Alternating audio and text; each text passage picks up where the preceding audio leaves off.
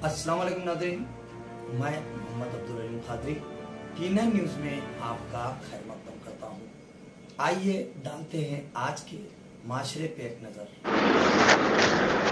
जी, जैसा कि जानते हैं कि आप कुकटपल्ली के पास ऑरेंज ट्रैवल्स की बस जा रही थी। उसके अंदर पैसेंजर मौजूद थे। इंजन में आग लगने की वजह से तमाम पैसेंजरों को उतार दिया गया। ड्राइवर को जैसा ही भनक लगी कि इंजन में आग लग रही है तो पूरे पैसेंजर को उतार कर उनकी जान बचाई और बस पूरी तरह से जलकर हाक हो गई। आइए देखते हैं ये रिपोर्ट कुकटपल्ली से।